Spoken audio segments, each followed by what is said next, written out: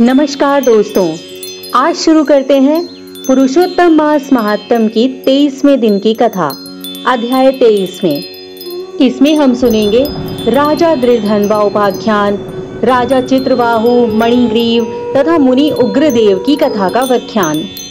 राजा दृढ़धनवा बोले, हे मुनि श्रेष्ठ पुरुषोत्तम मास में दीपदान का क्या फल है?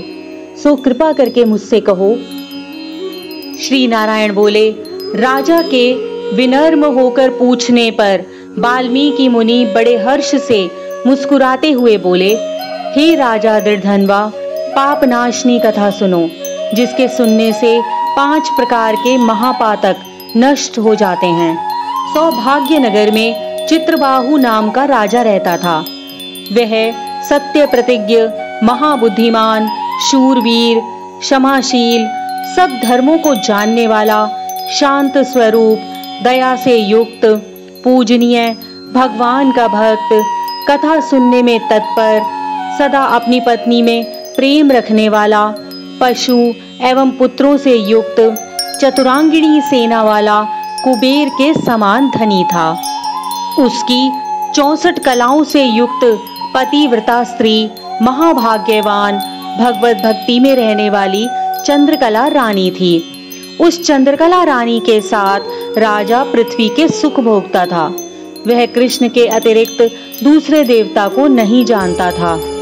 एक दिन राजा चित्रबाहु ने मुनि श्रेष्ठ अगस्त ऋषि को दूर से ही आते हुए देखकर दंडवत प्रणाम किया और उनकी पूजा करके भक्ति सहित आसन बिछाकर मुनीश्वर के आगे बैठ गया। तथा विनय पूर्वक बोला कि आज मेरा जन्म सफल हुआ। आज मेरा राज्य और महल पवित्र हुए, जो आप श्री कृष्ण के सेवक मेरे भवन में पधारे। हे मुनिवर, आज आपके दर्शनों से मैं पापों से छूट गया। अतः हाथी, रथ, घोड़ा, पैदल सेना सहित राज्य आपकी भेंट है।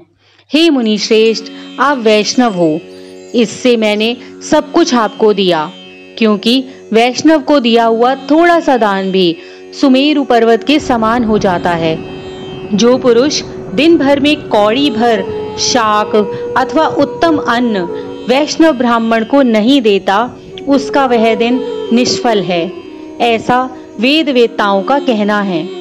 जो कोई ब्राह्मण आदि विष्णु भक्त हो, वे पूजने योग्य हैं। उनका वाणी, मन और क्रम से सत्कार करना चाहिए। ऐसा ऋषि गर्गाचार्य गौतम और मुनि सुमंत ने मुझसे कहा है। जब तक सूर्य उदय न हो, तब तक तारों की छटा रहती है। उसी प्रकार जब तक वैष्णव विप्र नहीं आवे, तब तक अन्य ब्राह्मणों की छटा रहती है।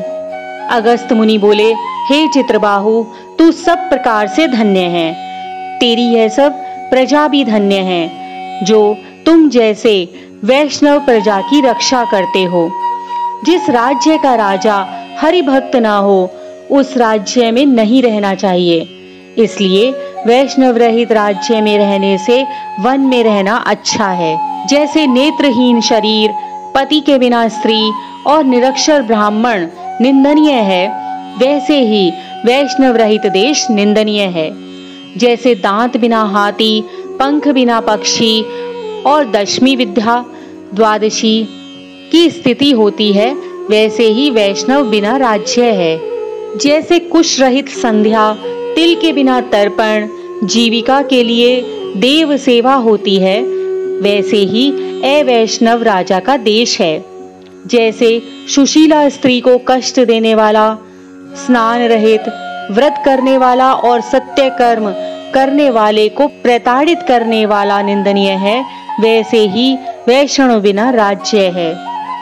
विद्वानों ने राजा वही कहा है, जो कृष्ण भगवान के चरणों का आश्रित हो। उसी का राज्य दिन प्रतिदिन बढ़ता है और उसी की प्रजा सुख भोगती है। हे राजन, आपके दर्शन से मेरी दृष्टि सफल हो गई। आपके साथ वार्तालाप करने से आज मेरी वाणी सफल हो गई। आपके साथ बैठकर मेरा मन गदगद हो गया है। हे राजन, मेरी आज्ञा है, अब इस राज्य का शासन तुम करो। मैं तुमको राज्य में पुनः प्रतिष्ठित कर रहा हूँ। तुम्हारा कल्याण हो।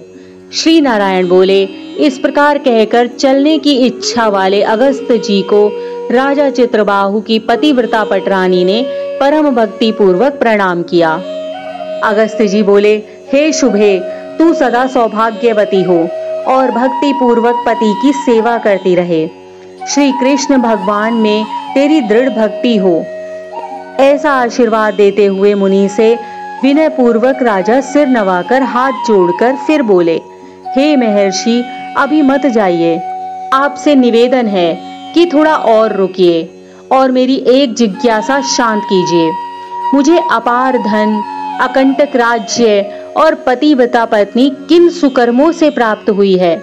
हे विपेंद्र, यह सब मुझे बताइए। मैं आपकी शरण में आया हूँ। हाथ के दर्पण की भांति आप त्रिकालदर्शी हो।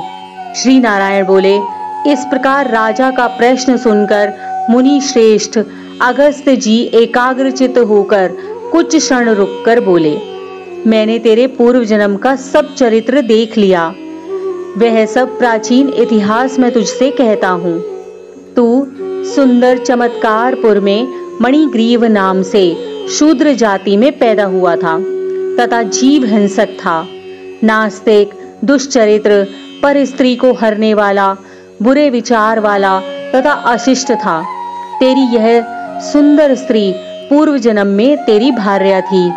यह मन, क्रम और वचन से पति की सेवा में रहती थी। यह पतिव्रता महाभाग्यशाली धर्मात्मा तेरे ऊपर कभी भी दुष्ट भाव नहीं रखती थी। तुझ कुकर्मी को तेरी जाति के अन्य भाई बंधुओं ने त्याग दिया और राजा ने क्रोधित होकर तेरा सब वैभव छीन लिया। बचा हुआ जाति के लोगों ने छीन लिया। संपत्ति के चले जाने पर तुझे बड़ी भारी धन की इच्छा हुई।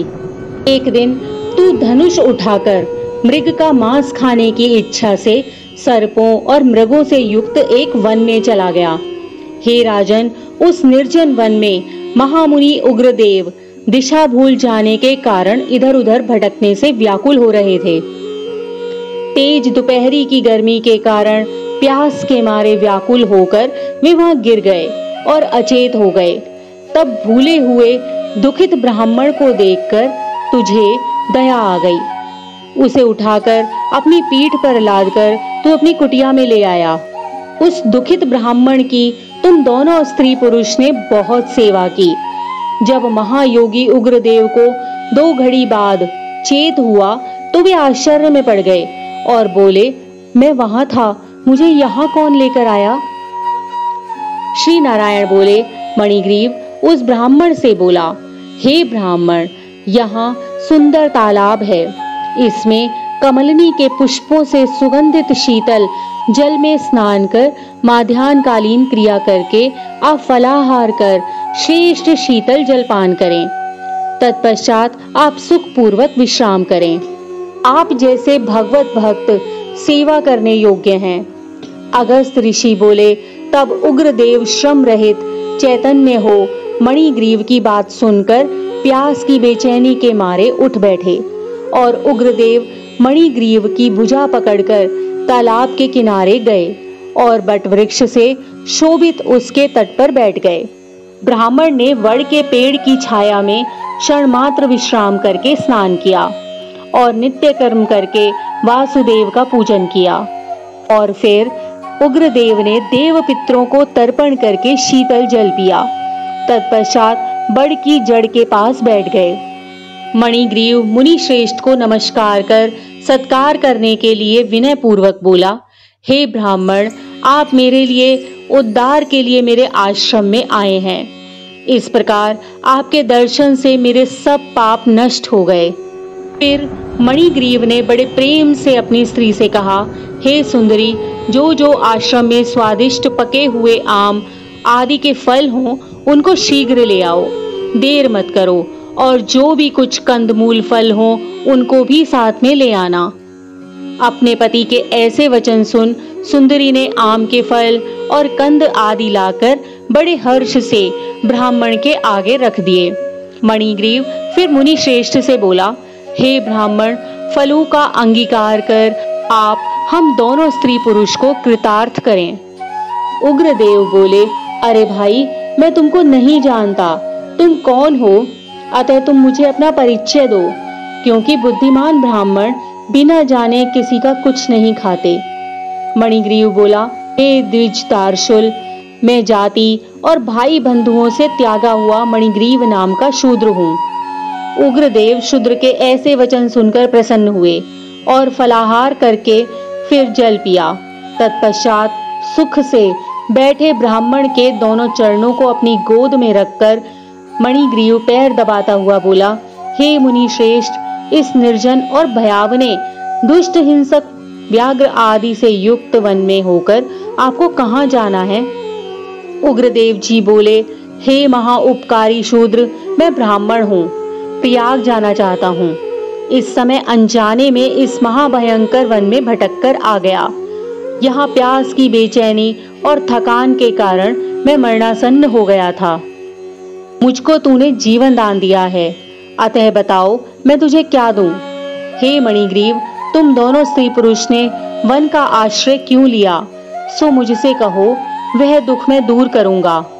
प्रस्त मुनि बोले, इस प्रकार उग्रदेव के मनोहर वचन सुनकर, अपनी स्त्री के सामने ही मुनीश्वर की प्रार्थना कर, दरिद्रता रूपी समुद्र से तरने के लिए मणिग्रीव अपने किए हुए कर्मों के फल का वर्णन करने लगा।